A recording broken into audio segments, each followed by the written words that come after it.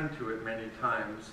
Um, it's also just gripping stories um, that kind of sweeps across uh, Europe and talks about Jewish rescue of Jews from the Nazis and their collaborators. Um, and I think it's a, a particularly noteworthy that after being responsible for some 18,000 righteous Gentiles being commemorated under his watch at Yad Vashem, that he then has produced this work of scholarship, which the likes of me as an editor, who is not a scholar but an editor, I'm very grateful because any uh, work that we can do with Jewish Currents, with the show next door, and so on, is built upon the groundbreaking work of, of scholars like this. So I wanted to begin by just asking you uh, to tell your own story of rescue and perhaps um, from there describe how does this research happen after six calamitous years of genocide? Okay, so uh, I was born in Belgium in 1937 into a very religious family. And when the Germans invaded in 1940, I was three years old, and uh, we fled to France together with, with hundreds of thousands of other refugees, Jews and non-Jews. Uh, we fled to France because uh, the expectation was that the French would be able to hold back the Germans as they did in World War I. Uh, it didn't happen. France collapsed after six weeks. And so we stayed in France and uh, we moved from one place to another in France, uh, from the occupied zone to the non-occupied zone. France was divided into two parts. The non-occupied zone known as the Vichy France. And so uh, finally we settled in Marseille. Did you have an automobile? Hmm? Did you have an automobile?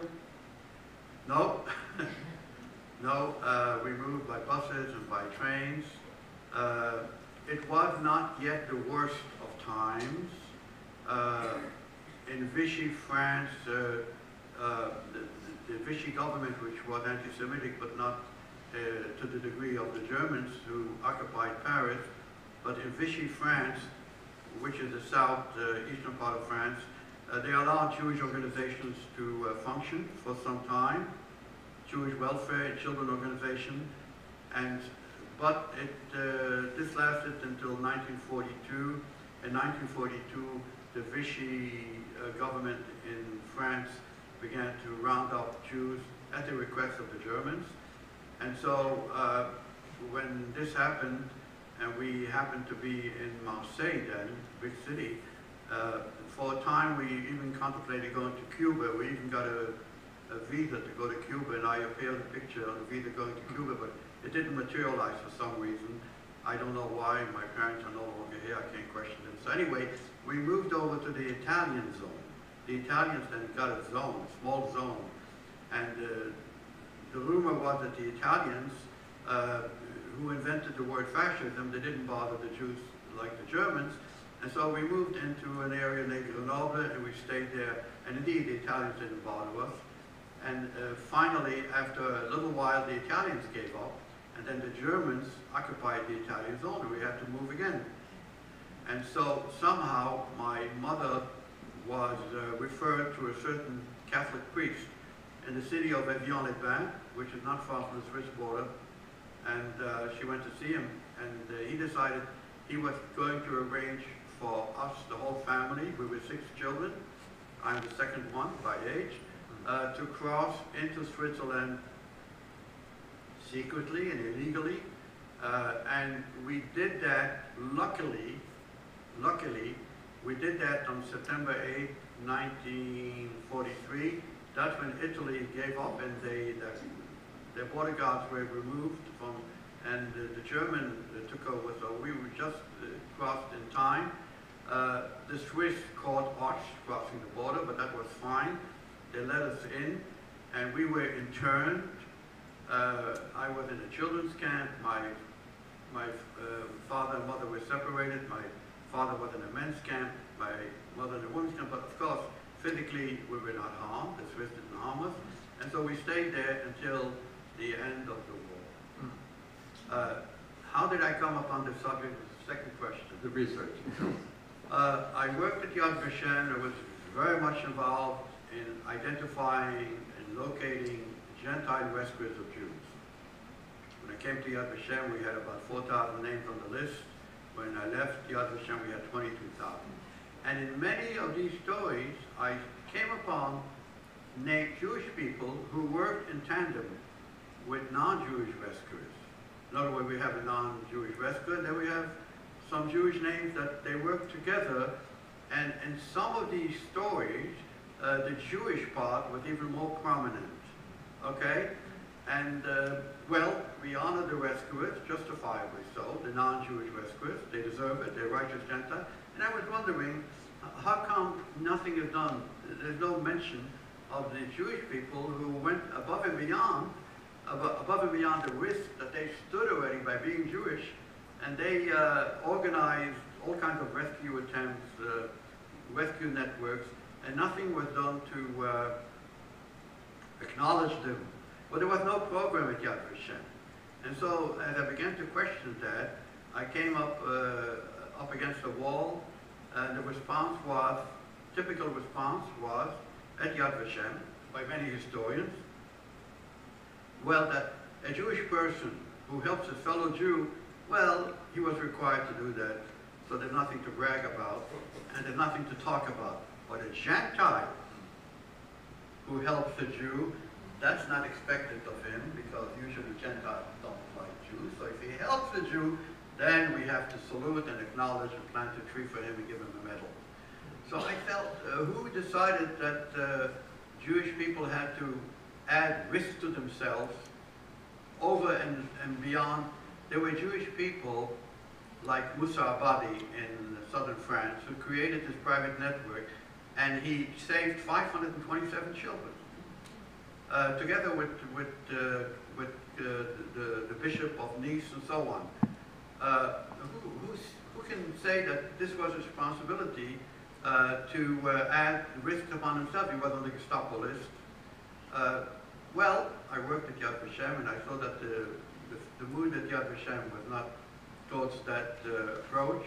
But when I left Yad Vashem, I decided that uh, I'm going to sit down and write a book about it, about the uh, documentation that I collected and so forth. So is it primarily been oral history? What, what are the sources for these stories? I mean, how, how does it happen? Many people died in the course of these stories. Uh, the stories of Jewish rescuers, uh, they appear in the archives. Uh, you know what, you know the archives are. They are archives uh, that no one knows what's in there. Even at Yad Vashem, okay, I discovered uh, in the Yad Vashem archive documents that nobody knew were there because of millions of paperwork. At the same thing, same thing at the in the National Archives. Uh, for, for instance, I'll just give you one example. There was a German who blew the whistle, uh, a man by the name of Schulte. He came to Switzerland on business, and he got in touch with a man by the name of Gerhard Riegner from the World Jewish Congress, and he told him that the, the, the, the German government, his own government, had decided to destroy all the, the Jewish people in Europe. Not isolated cases, but a master plan. And Riegner sent a telegram to uh, Rabbi Stephen Wise. It's a whole story, the Riegner telegram. And uh, Schulte uh, also worked for, uh, for, the, uh, for the OSS, which is the predecessor of the CIA. And uh, so there was an historian by the name of Laqueur who lives in Washington. And he wanted to find out, he wanted to write a book about this German. Walter Licker. Yeah, Walter Laqueur, about this German Edward Schulte. And he went to the National Archives. And he said, uh, I I, you must have something about this man because he worked for the OSS and so on. And so at the National Archives, they, they looked into the card catalog, that's before computering, and they said, uh, sorry, we don't have anything on, Ed, on Edward Schulte. And Walter Laqueur says it's impossible because uh, I was told that here and there that the archives of uh, Allen Dulles, Allen Dulles was the head of the OSS at that time, his brother was John Foster Dulles, uh, turned it over to the archive. No, we don't have. Uh, so Walter Laqueur was about to walk out, so the uh, librarian said, wait a second, there is a man here who has worked at the National Archives now for many years. He knows a lot of stuff, maybe doesn't appear in the card catalog, let's call him up. So they called up this old man, and they said, this gentleman, Walter Laqueur, is looking for a file of, uh, of Edward Schulte. Oh, yes, uh, come with me. Took him down to the basement, took a ladder, there's a box up there, and he took down, here with the box, and it doesn't appear in the catalog. That's just one example, and that's, so he wrote a book, Walter Laqueur, based on everything. So the documentation about Jewish rescue, the stories are there. They are spread out at Yad Vashem and the Holocaust Museum in Washington and, uh, and the uh, Memorial de la Shoah in Paris and the various things. But no one has ever taken these stories and uh, written about them. Okay, so it just there's all kinds of millions of documents of what took place during the Holocaust. So um, I'm going to ask you for comment on uh, a quote in the show next door. Uh, Hirsch Smoliar, who was a partisan in the Minsk ghetto, um, in 1958 uh, wrote an article in Jewish Currents in which he observed that Jewish resistance, if you define resistance as anything that slows down the plans of the enemy or defeats the plan of the enemy, or disrupts the plans of the enemy. If you count as resistance that, that the Nazis um, in the first years of the persecution were intent on starving, concentrating, working to death, and getting rid of through expulsion and allowing them to emigrate the Jews. And Smoliar observed that Jewish resistance to that was adequate. In other words, too few people starved to death, too few people were worked to death, too few suicides, not enough people leaving, that the Nazis had to raise the ante and at the end of 1942 begin with the death camps, with actual genocide. And in that way, that the, that the Jewish resistance he observes was very authentic because it forced the Nazis to do things that were counterproductive to their effort to conquer the world because the Holocaust, in fact, was a sidebar to the war. And I'm curious if you see Jewish resistance in that light. I'm not going to say anything negative about Jewish resistance. Uh, however, I think uh, one, one of the imponderables about the Holocaust, and there are many, is that there was a lack of Jewish leadership in general, the major Jewish leaders, uh, not because of any evil intents, but no one could comprehend that indeed uh, a country like Germany, even led by the Nazis, would decide that every Jew living on, on the whole continent of Europe had to be eliminated. It's not something that would serve their interests it worked against their own interests. They had to uh, set aside trains. Why would the Germans take people from Greece uh, on trains from Salonika to Auschwitz to be killed? Would, would that serve any German purpose? Germany uh, never have had any intention to annex Greece to Germany, so it didn't make sense. So what is leadership? Uh, leadership sometimes has to foresee even things that don't make sense. Uh, but uh, so there was a lack of the major Jewish uh, leaders. They could not, while the news was uh, coming out, it's still, you know, there's a difference between you hear something and you believe that the person who's telling you is telling the truth, but still you, you cannot accept that as the ultimate truth because it goes against any, uh, any kind of human sense and it's without precedent. It's without precedent. So uh, Anti-Semitism has been around for, for hundreds and thousands of years, but not to that degree. The Nazis viewed the Jewish people as a cancer, as a cancer, uh, and uh, it's like the body has a cancer. What you do to save the body, you remove the cancer in order to save the body. Okay? I'll just give you one example. Uh, we honored uh, an Austrian lady, Ella Lingens-Reiner. She was a doctor in Vienna. Dr. Ella Lingens-Reiner, I knew her very well.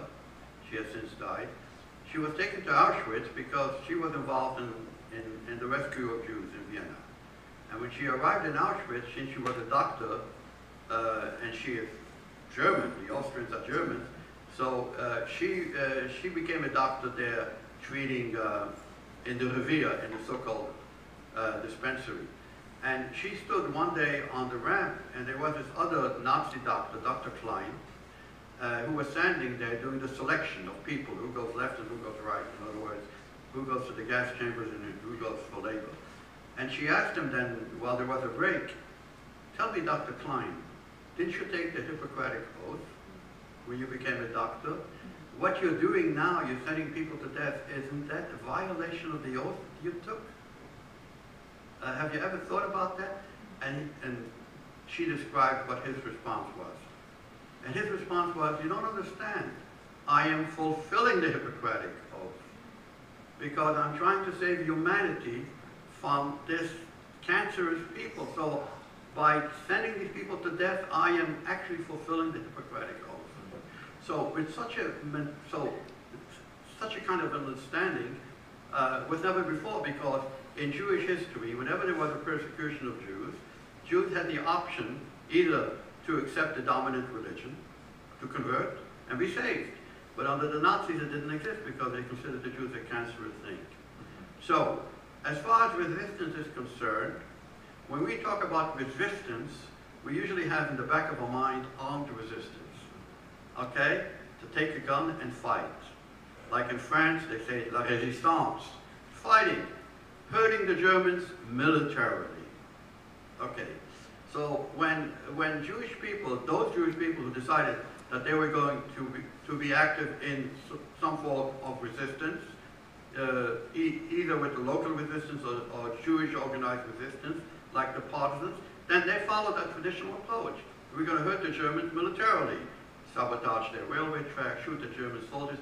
What the resistance didn't realize, because uh, it, the Holocaust is unprecedented, that the resistance now during the Holocaust was not so much to kill a German soldier, but to save Jews. And how can you save Jews? By stopping the Holocaust is basically uh, the Holocaust by trains. Most of the Jews went to their death. First, they boarded a train, and the train took them to Treblinka, to Sobibor, to Auschwitz, to Chelmno, okay, to Belzec. So why not sabotage the railway tracks that left from these places, like Drancy, Westerbork, uh, Mechelen, and the Warsaw Ghetto, uh, and going into one direction and sabotage these and cause uh, a delay of these trains carrying the people. It, it never entered their mind. There was only one such attempt in Belgium, uh, which is on the exhibit by a Jewish man by the name of uh, Livchitz. So uh, it's not that they uh, that they didn't want to do it, but it's the mentality was still resistance means fighting, hurting the Germans militarily, while at the same time train after train went on the railway track and were leading people into the gas chambers. It's really Right, so- it's really tragic. I, I, in, your book, you observe that the, uh, that the Bielski camp uh, in the forests uh, were an exception because they welcomed children, women, people who were unarmed, unskilled, compared to other resistance units where. That's right. That's it. Bielski was the exception. Bielski created uh, his own uh, Otriad, that means a, a resistance organization. Otriad is the German, is the Russian term. But he decided that it's, it's not only, uh, not only for the purpose of fighting the Germans, but also for saving the Jews. So, any Jewish person who ventured into the forest where he was located, and whether he was of, uh, of fighting age, whether he was healthy, young, and he could fight and shoot, or not, he was too old or too young, or a pregnant woman, he would admit them. And because he said, I am here to save Jews. Whereas, and this is something which is not mentioned, okay, because it's, uh, it's, it's something which is disturbing.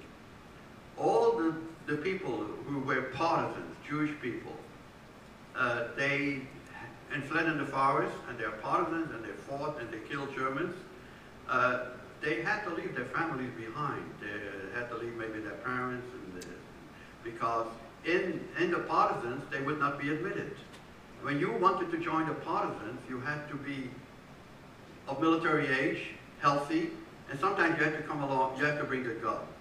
So Bielski was the exception to the rule. And that's why, uh, that's why he's, he's, uh, he's uh, one of the great Jewish heroes, because he saved 1,200 Jews. So uh, I want to segue with that. Uh, The Bielski camps were in Lithuania, am I right? No. Not, no, in uh, what is today Belarus. So it was a forested, heavily forested land. Heavily forested. I'd, li- I'd like you, I, I mentioned that your book kind of sweeps across Europe and tells stories in Vichy France and Poland and in various countries and what, what's you know now called the killing, the bloodlands. Um, how did geography affect uh, attempts to save Jews? How did the attitudes of local populations and the history of Jewish interactions with Gentiles in those countries affect efforts to save Jews? How did issues of class and poverty and wealth within the Jewish community affect from country to country? Can you give some examples of, of how much geography and those other elements were a factor? Well, uh, insofar as the attitude of the local population in general, it was more difficult, a whole lot more difficult, to save Jews in Eastern Europe than in Western Europe. Because anti-Semitism in Eastern Europe, I mean countries like uh, Poland, Ukraine, Belarus, Lithuania, uh, and Romania, anti-Semitism had, had dug uh, more deeply into the various strata of the population, uh, and the Jewish people could feel the, anti, the anti-Semitism. Uh, and the local population, uh, let's put it mildly, were not unhappy to see the Jews disappear from the scene. Uh, some countries practiced anti-Semitism even before the Holocaust, uh, like Romania, and Poland practiced uh, economic anti-Semitism before the Holocaust. So uh, in Western Europe, it's a different type of anti-Semitism. It's more of a social anti-Semitism. It's not bloody, it's not physical. In France, in Belgium, in Holland, uh, there were no pogroms in recent history, no pogroms. Uh, Jews were not attacked on the street and beaten up in these countries. Uh, and so it was uh, easier, uh, relatively speaking, for Jewish organizations to create clandestine uh, uh, networks, like in France. In France, there's a whole range of about a dozen Jewish organizations that operated and saved most of French Jewry survived thanks to these Jewish clandestine organizations because anti-Semitism in France was not as deep-seated and not as uh, terrible as it was in Eastern Europe. Just one example. In France, uh, there were many Jews who were living in, in out of the beaten track villages and the inhabitants uh, didn't report them as they had to. They, the, the, informing on Jews was not as prevalent in France as in Poland. In Poland, uh, no Jew could live in the village uh, with the villagers knowing that there's a Jew there. He had to be actually literally hidden, hidden in, in the attic and so on. So that that uh, that, op uh, that, that operated as a function uh, of rescue. So you can see that, for instance, when I write about Poland, uh, the, the Jewish people that were involved in saving Jews uh, they could save a handful. Uh, there's only so much that they could do because they themselves were under constant risk of being identified, denounced by, uh, by what's called schmalzovniking, in other words, people who were hunting Jews. I'm talking about the civilian population. So it was much more difficult. I have to mention, uh, in Poland, there was one non-Jewish organization called Żegota, uh, which uh, decided that they were going to help Jews. One uh, non-Jewish uh, organization, but there were some Jews that were associated with Żegota. So that was a help. That helped them to branch out and save more Jews. Actually But- smuggled many babies out of the Warsaw Ghetto. Yes. So, uh, but you will find out the statistics, statistics are that more Jews were, were saved uh, proportionately and numerically in France and in Belgium uh, because the conditions there uh, were not as uh, terrible for the Jews. It was terrible, but not as terrible as in Poland. Uh, So Timothy Snyder observes that also th- those countries had intact governments, and that the countries like Poland that really no longer had an intact government really were more vulnerable. Okay, that's an additional uh, factor. In those countries which, which had governments, even collaborating governments, okay, like Vichy France, okay, and even Hungary, up until the German takeover of Hungary, up until March 1944, Hungary, which had a fascist, a proto-fascist government, and uh, was an ally of Nazi Germany, and the Hungarian army was fighting with the Germans against the Russians, but the Germans were not inside Hungary, so up until March 44, it was uh, relatively safe for Jews in Hungary. But in those countries where the Germans had full and total control, uh, like in Holland, so 80% of the Jews in Holland vanished. In Poland, where the Germans had 100% control, uh, the same in Lithuania, okay? The same in Ukraine, the same in Belarus. Uh, there, uh, the Jewish survival was uh, minimal, less than 10%. So, uh, but in countries, even if you take a country like Slovakia, a small country, uh, which was, which had a fascist government, and was an ally of Nazi Germany, and they deported the Jews, but as long as the Germans were not there, it was still possible to negotiate with that anti-Semitic government and uh, create some labor camps inside Slovakia where Jews could uh, work and do some, some type of work for the benefit of the Slovakian economy and they would not be uh, and they would not uh, be turned over uh, to the Germans for extermination. So while they collaborated, yes, all these countries collaborated, but not to the extent uh, like those countries where the Germans actually were in full control. I, you know, I think that uh, one thing that we're all, uh, we all do in contemplating the incomprehensible Holocaust is ask, uh, you know, what would I have done? What, what would we have done in such and such a situation?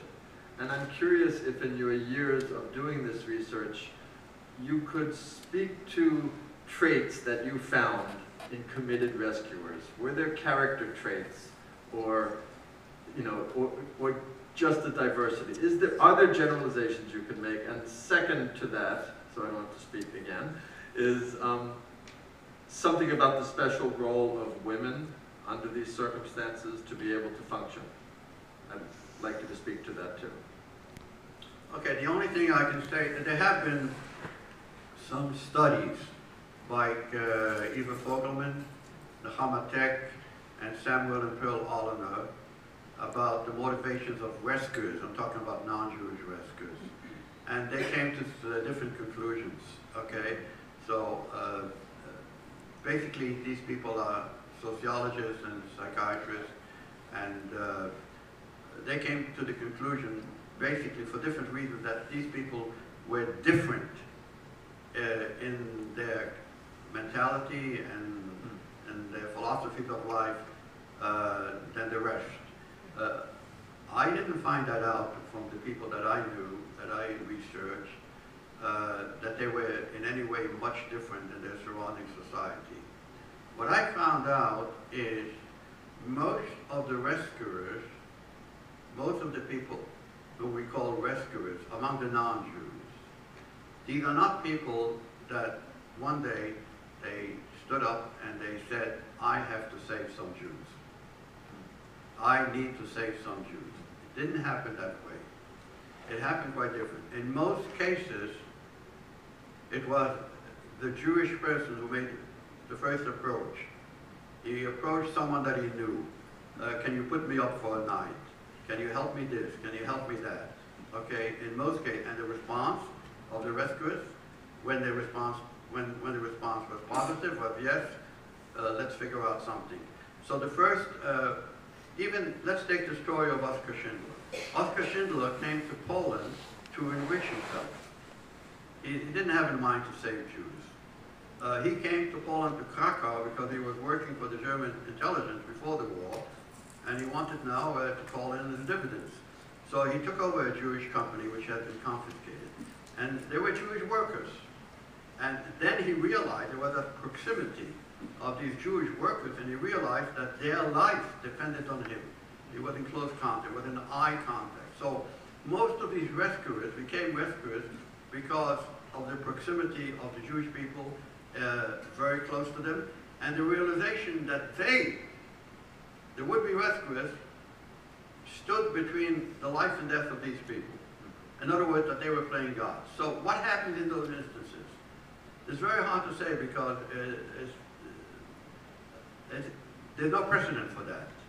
Uh, altruism is, uh, the definition of altruism is people who like to help out help other people. Okay, they make a rational decision.